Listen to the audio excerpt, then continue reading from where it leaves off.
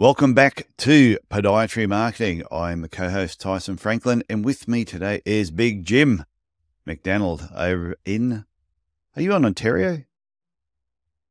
Oh, Tyson. I'm going to do that again. Don't, don't Quebec. You're in like Quebec.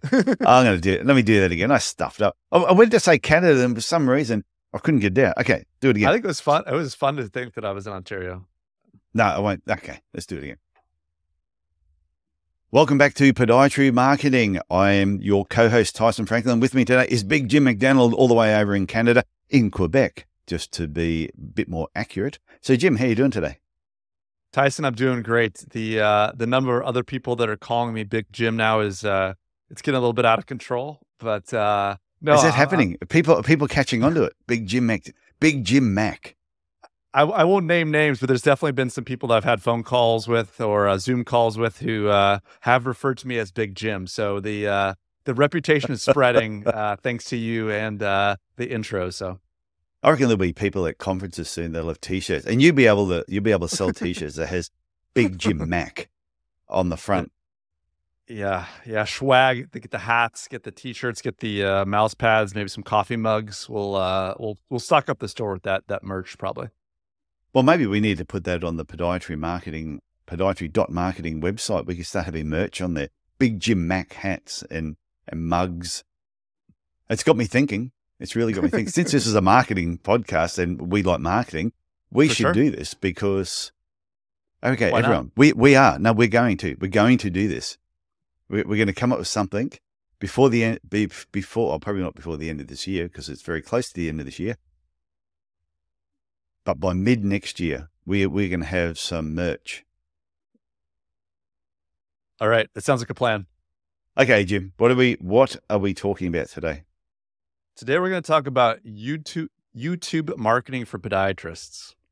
Do you find YouTube hard to say sometimes?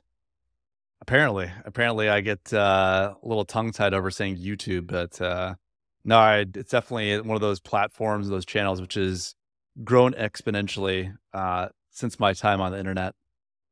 I must admit, probably going back maybe two years ago, I would go onto YouTube a little. See, see, I say YouTube, but I'll I'll talk in Canadian and American. YouTube, and oh, I'll edit that out. What the hell? Anyway, I'm gonna go. I'm gonna edit that part out. That was shit. So anyway, so going back a couple of years ago, I would only ever go on YouTube if, for some reason, somebody had a link there and I clicked on it just to watch more information about what they were talking about. But the last two years, I've noticed I'm getting more and more into going to YouTube actually as a search option first before even going to Google to search for something. No, I think that's a huge point. Uh, if you look at it by kind of search volume, uh, YouTube is now the sec- the second biggest search engine in the world. It's like you said, if someone wants to learn how to do something or vi- see something, sometimes just a, a quick video, like whether it's mm. how to repair your washing machine or, you know, some household things, but also how to put up festoon lights.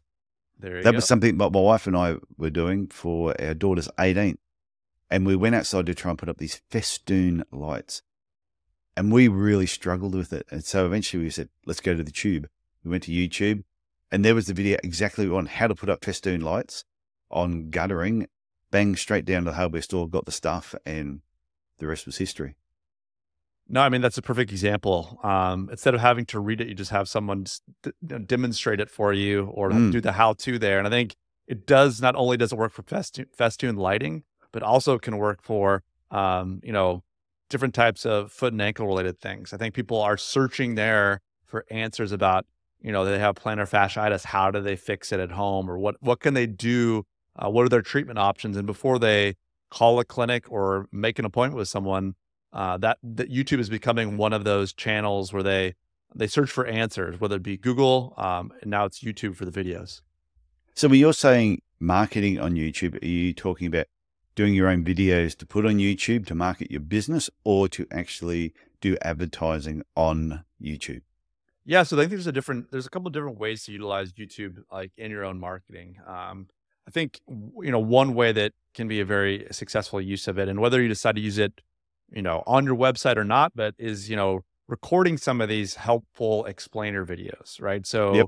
uh, you know, I, I've kind of written scripts in the past for some of my previous the clinics I've worked with, but what's a one minute or a 90 second explanation of a, a you know, something like plantar fasciitis, for example? What is that diagnosis? You know, what causes it? What are potential options for treatment? And then what are next steps that people can do if they don't get better at home? Uh, so YouTube allows you to basically upload that video for free and host it. And then you can use it basically on your website to basically embed it on your website. Um, sometimes people will use private or other paid versions of video hosting, but YouTube is maybe a good way for people just getting started um, to upload and have those videos on their website. Uh, and it can be that's kind of like the first step in marketing is like I said, those how-to videos or sometimes a video explainer of some of the care that you provide. Yeah, and I know there's other programs that you can use to record videos and put on your website. However, like you just said, YouTube is the second biggest search engine. So right. people that aren't rushing out going, mm, I might go to Vimeo and find out about this, they'll go to YouTube first. No, 100%. Uh, that's the thing too is, uh, and like you can have those uh, procedure or diagnosis specific videos on your website. That's one option. But the other option too is let's say you've uh, run some local advertising and you had a 30 second spot. Maybe it's like, yeah. you know, Tyson Franklin, like, you know, Karen's like favorite podiatrist. So like within the title of that YouTube video says like Tyson Franklin's podiatrist Karen. And it's it's a, another way for you to rank in Google search because not only does Google show up with websites and podcasts. I mean, if you type in podiatry marketing, you might see uh, or see a podcast that you know of, but it also pulls in YouTube videos. So yeah. if you have your your name, podiatrist or foot doctor, and the name of where you live at, there's a high probability that you're you'll show up on the first page in Google if no one else in your local area or you have the most viewed video in your local area about being a podiatrist. So there can be some benefits of either, you know, when you do video advertising or you just decide you want to do some video or some video testimonials to have those keyword those local keywords in the video because that can be additional visibility on Google for people looking for your services. Well, it's true. Recently, there's been a lot of things I've been searching for I may have just searched in Google, but when I do the search and it comes down, all of a sudden there'll be three videos, three YouTube videos they're sitting there at the top. And yeah, sometimes you look through them and you go, oh, yeah, that's exactly what I'm after. But I'm noticing that more and more that the, the YouTube videos are actually turning up more just in your general search on Google as well. And, and that would be based on the words that you're using.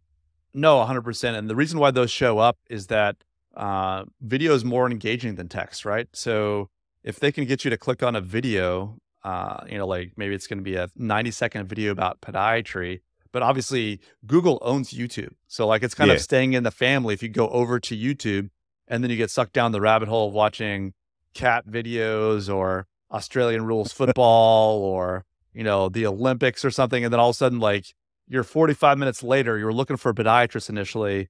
And then now, like you just watched the Olympic final of the 10,000 meters or something. So, I mean, um, you have to be very deliberate, I would say, when you're eh, when you're jumping into YouTube because it can be a bit more distracting and kind of uh, engaging than other platforms. Um, but uh, but that's the local aspect of uh, you showing up in those local searches um, can be it can be a huge marketing advantage for your practice. So where should somebody start? Podiatrists are going, okay, I haven't really shot too many videos at the moment. What do they need to do to, to sort of get this started? Yeah, I mean, I think the the first step is kind of knowing those five or ten different uh, procedures or diagnoses you want to treat, uh, and whether you're you or someone in your staff has the ability to kind of like write a script. I think writing a script and, and kind of filming, um, whether it be with a with a with a smartphone or a decent, um, maybe hire someone to film for a half day, film some of these uh, these descriptions of these procedures, or you treating a mock up patient with a 90 second kind of voiceover regarding that. I think that's that's somewhere that can be started. Um, I think also there's different ways of going about doing it. We'll talk about that maybe a little bit easier later on, like we talked about. Uh, you jumped in and said a little bit something about advertising. We'll get into there in a little bit. The advertising is a little bit lower lift. It doesn't require any kind of video production from yourself or somebody else. Yeah. Um, but that's something we'll talk about kind of as we kind of come down here. But I think one option along with being local um, and kind of that can be very beneficial is displaying that subspecialty niche. I think we've talked a lot about that in the past, you and I, about you know what what type of patients you want to treat and what do you want to be seen as the expert in. Um, so you know maybe a hybrid of like maybe you're the sports medicine podiatrist in Melbourne or the sports medicine podiatrist in Chicago or the diabetic foot specialist in Las Vegas. Um, that's another opportunity. So it's not just even local; it's it's also showing this this subspecialty.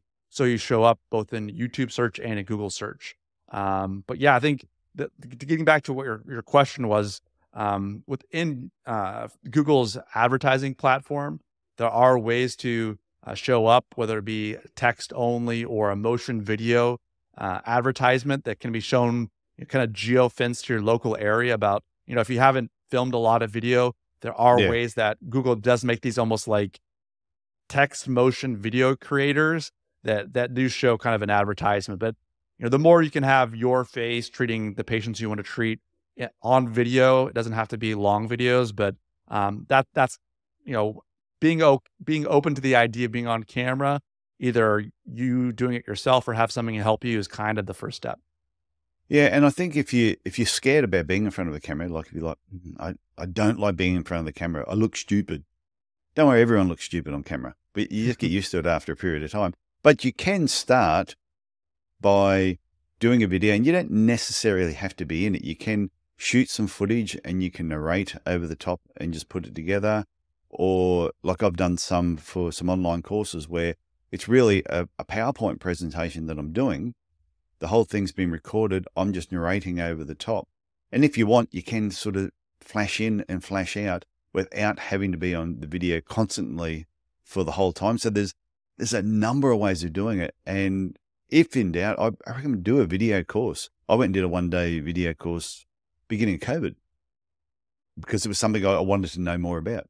I think that, that you bring up a good point. You know, whether it's uh, Microsoft PowerPoint or it's Apple Keynote, if you have, you know, maybe six to eight slides of, you know, your company's logo, maybe it's you treating specific type, maybe it's just photos of you treating specific type of patients, like in a slideshow format that's relatively engaging.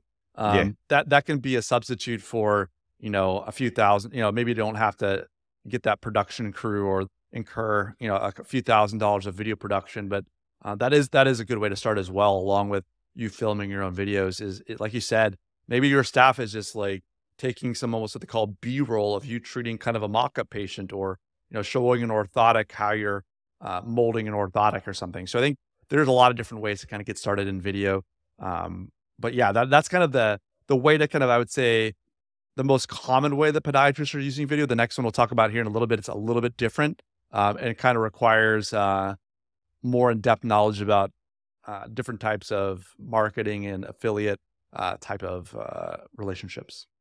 Yeah, well, one, one thing that was interesting about some of the videos is one of the videos I shot just before I sold my clinic in, oh, this, I shot it in 2015, but it's had over 84,000 views. And it was goes for 90 seconds, how to strap your heel, oh, you, yeah, how to strap your heels for heel pain. And I'm in the video, but you don't see my head. You only really see me from the shoulders down and the patient's foot, showing them how to do the strapping. The audio is terrible. The lighting isn't the best, but it's had 84,000 views on it. And I have not even promoted that video. It's just turned up when people have been doing searches. So, like you said, these short little information videos are, are what people are actually searching for.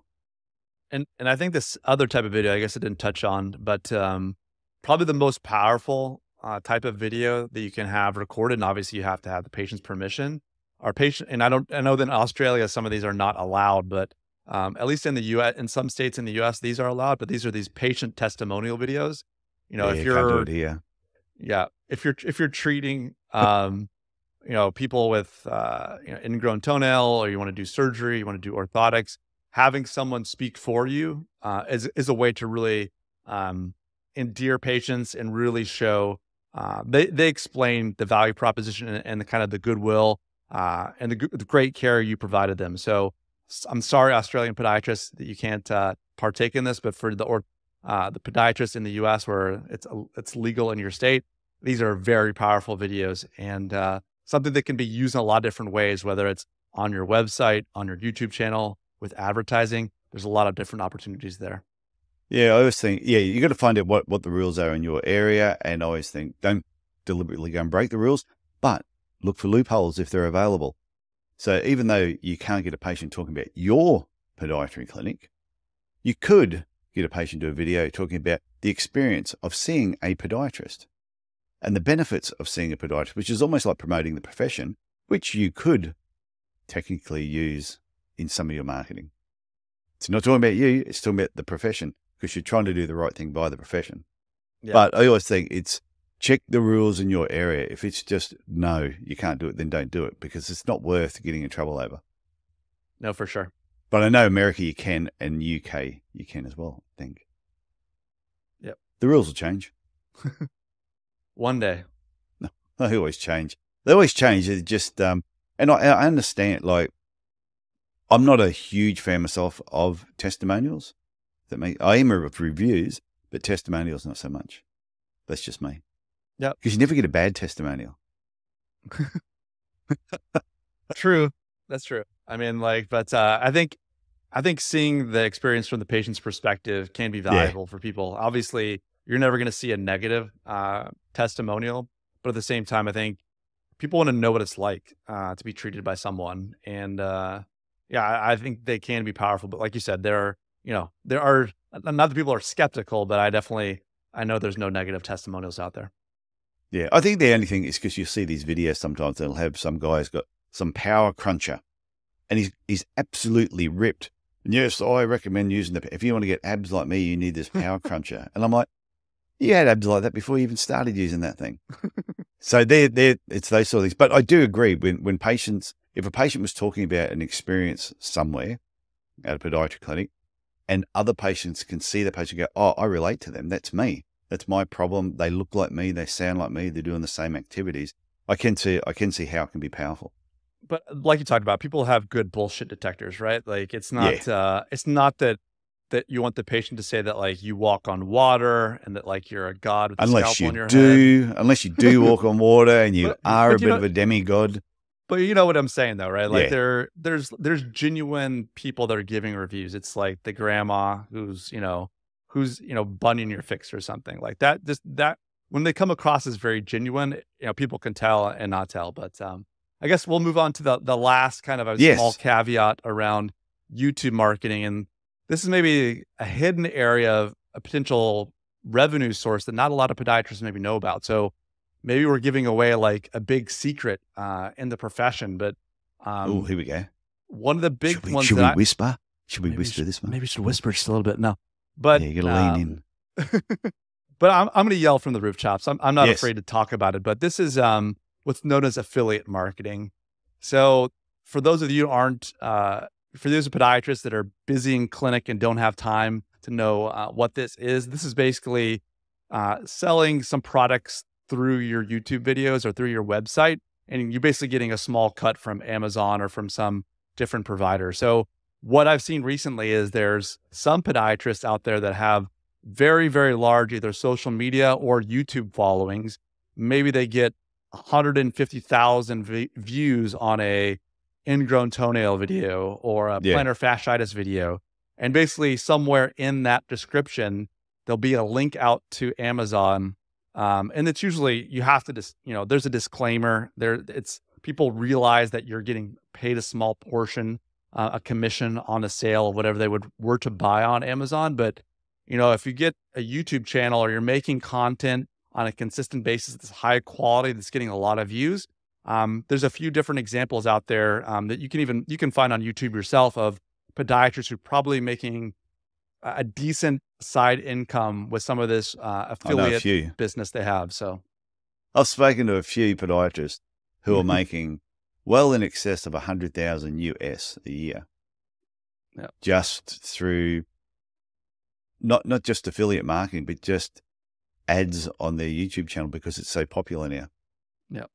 And this is just this is just extra money they're getting as a so they they could stop working tomorrow and they could just keep adding videos on and they've got this extra hundred K American, yeah, which 140,000 Australian coming in on the side. It's not a bad not a bad thing. No, not a bad thing. I think when I was maybe I'm old school and I'm obviously I do digital marketing now, so it's it's funny to like kind of admit this uh, on the air, but uh I could never have imagined like taking out my my camera or my my iPhone and having my assistant like record an ingrown toenail. Oh, like just it seemed to me like what I like I said, I'm old school. I'm I'm a boomer, as some of the kids like to say these days, but like that rela- that relationship between you and the patient, um, you know, if, if they give you permission, I guess it's totally okay. But like I was never one big on uh, you know, uh, filming those kinds of things, or I never did when I was in practice. But not not to slam the folks that do that, but um, I don't I know. Like, good on them. I wish I had. A, I wish exactly the same thing. You look at the the only difference between if we had started doing it ourselves 15 years ago, Jim, the quality of the videos would have been so bad. I mean, they would have just been so bad that no one would have watched them anyway because the quality was so bad. But it's so true. things have improved. Like your your iPhone now is so powerful when it comes to video that people don't have an excuse not to do short videos and be posting them somewhere, unless they just too lazy and don't want to do it. No, for sure. I think that's uh, it can be a huge, powerful way to, uh, like we talked about, like show show patients all the all the care that you provide. So I think uh, there's so many different tools out there. And like I said, YouTube is a really kind of um, overlooked platform. I think by a lot of podiatrists because oh, it's just that video place where people go waste time and and do those things. But whether it's you know uh, something that you embed on your own embed on your own website, it's a it's a way to kind of begin uh, you know, becoming more r- locally relevant in video form, or you know, one of these affiliate business or advertising. Uh, it's definitely a platform I think that more podiatrists should, should learn more about. Mm. I know, I agree, agree 100%. So this has been fantastic, Jim. So I look forward to talking to you again next week. Sounds like a plan, Tyson. Okay, talk to you later. Bye now.